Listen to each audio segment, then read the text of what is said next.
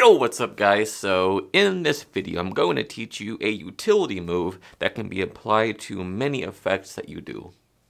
I won't tell you what that move is right now because the name of the move will give away the secret to the performance I'm about to show you. Let's get into it.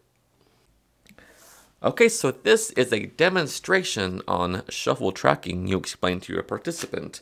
Alright, so you instruct them to take the deck and uh, slap some cards face down on the table like this and keep doing that, uh, shuffling cards around like this, throwing cards down. And as they're doing this, you explain to them that the reason why they're doing all this face up stuff is so you can keep track of important cards as they shuffle, hence the name shuffle tracking, right?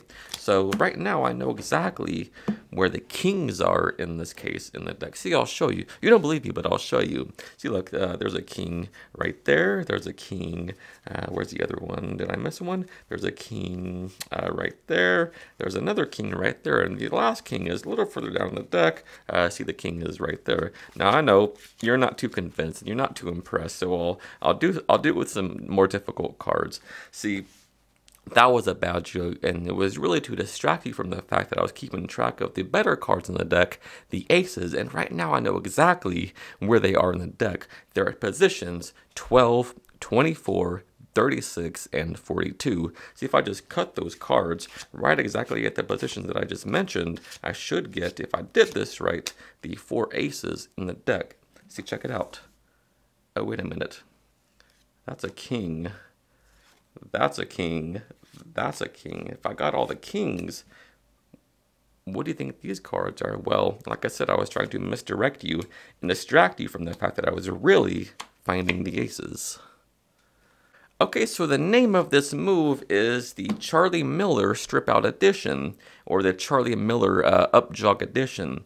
And what it is this, say, let's say you want to exchange four cards for the uh, four aces, okay? So what you need to do is get those cards you want to switch in on top of the deck, and uh, let's say you want to bring the kings out, and so you want to get one of the kings um, on the bottom of the aces here. And then any random card on top of those aces. So from top down, you have any random card that one, two, three, four aces, and below those, uh, one of the kings there that's on top of the deck.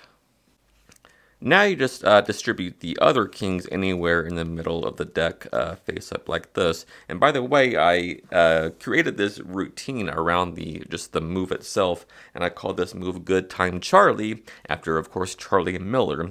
All right, so you the deck is set up like this, and you explain to them that you want to show them how shuffle tracking works. And so you hand them the deck, and you just uh, coach them through Ben Earl's uh, Spectator Shuffle Holdout, uh, which is this. They take the deck and you ask them to spread over a group of cards. As long as it's more than uh, six cards, you're fine, okay? So ask them to spread over about uh, a dozen cards or so, and they do that, and they, you ask them to throw them face up on the table like this. And the whole shuffle tracking uh, presentation really justifies this whole face up shuffle thing. So as soon as they do that first one, ask them to shuffle these and keep doing that, uh, throwing face up cards down there until there's no cards left. So you ask them to shuffle cards around, throw cards face up, shuffle some more, throw cards down. And as they're doing this, you explain that the reason why you're having them do them face up is so you can keep track of important cards uh, throughout the shuffle, hence the name shuffle tracking. Now all this shuffle does is really shuffle the deck, um, except for that top stock that you have there. So the deck is face up on the table, and it's at a sort of a joke, you say, uh, in this case, I was going for the kings. I was memorizing where all the kings are, and as, as a stupid thing, you just go through and spread through and just up upjog the kings. See, look, there's a king right there. I know exactly where it was. And this is sort of like a tongue-in-cheek sort of a stupid thing, but it's justified later, okay? So just go through and up upjog all the kings as you see them. See, there's another king right there, and uh, the other one's right here. And since you know where the for the king is, you can say the other one's uh, further down the deck, oh, right over here. And here's where the move comes in. When you're going down to that last king, uh, that's part of the, that's the king and part of your setup. You want to do sort of singles when you get to it uh, because you don't want to flash all those aces there.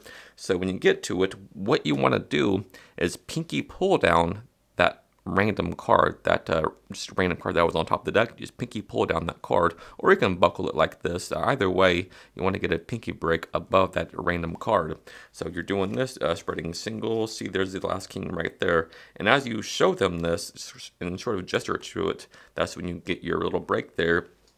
And then what you're going to do is act like you just upjog this king and pull these down like this, but what really happens is you upjog the king and all the aces, and by having this break here, you can, it, it just simulates that, right? So you just really upjog that whole block of five cards as the single king, right? So uh, you upjog this whole block, do that pull down, and just move that single card back like this. So the whole block of aces plus that king is just um, disguising itself as a single card, but that happens as you close up the deck, so there's a lot of cover. So you do this as you close up the deck like this, so they can't really, nothing looks weird, right? So right now you have just three single kings upjogged, and that last king is of course a block with the aces there. So as you close up, you just strip these out like this, and it just looks like you've taken out the kings, turn the deck over, and now since the aces are on top of those kings, simply flip these over and spread off the top four cards which you've just switched in for the four aces. But as you do that, you say, okay, well that was a that was that was a bad joke, and this time we'll go for uh, some more difficult cards. And don't draw attention to this whole flipping over and putting down. You want to talk about uh, saying it was a bad joke and saying you will go for harder cards, blah blah blah. As you're doing all this, so this action seems unimportant because you're speaking about something important as you're doing an unimportant action there. All right, so now you say, look how about we go for some more difficult cards? Uh, uh, that was really too distracted to the fact uh, that I was really going for the aces, and in fact, I know exactly where they are in the deck. And you just make up some numbers, say you go maybe 12, 24, 32, and 46, all right? It doesn't have to be, doesn't have to matter, just make up some numbers, right? So now you turn the deck face up and you will produce the kings now, which are on top of the deck with John Bannon's bullet catcher uh, sequence. So what that is is this. So you'll, uh, and it's going to look like you just cut to those numbers that you just mentioned, right? Those positions that you just mentioned. So swing over a block of about a quarter of the deck like this, swing cut action into your hand, and then these will be in biddle grip. So turn this hand palm up as you slide this top card here onto those, which will be a king, right? So just repeat that, turn the hand back, palm down, do another quarter of the deck swing cut like this on top of that, and repeat that move like this until you have four reverse cards. And that is John Bannon's bullet catcher move. But at fast speed, it simply looks like you just cut to four random cards, right? I'll do that one more time at speed so you can really uh, appreciate how good it looks, right? So again, the kings are on top and you just do what exactly what I told you. Uh, do this like this, and it just looks like you're just cutting the random cards as you do that, right? It looks very looks very good. Now, I say if I did this right, uh, I should have four aces face up in the deck, and whoops, don't do that. That's a different trick. And then spread the deck like this wide to show that, oh my goodness, what happened here? Say uh, if that's a king, that's a king, that's a king, and that's the king. Uh, what do you think is over here? And they say, like, I told you, I was really trying to find the aces, and that was a distraction uh, from the fact that I did indeed just find them. Alright guys, so as always, thank you so much for taking the time out of your day to watch this video. It means the world to me. And if you learned something new, if you got value from the video, do me a huge favor, hit that like button and sub the channel. Until next time, happy practicing. I love you guys.